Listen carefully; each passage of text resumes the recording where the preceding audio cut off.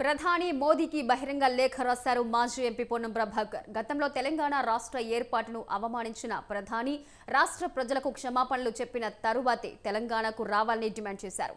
తెలంగాణపై అన్ని రకాలుగా వివక్ష చూపుతున్నారని విమర్శించారు. తెలంగాణ విభజన హామీలను అమలు చేయాలని ఆయన లేఖలో ప్రస్తావించారు.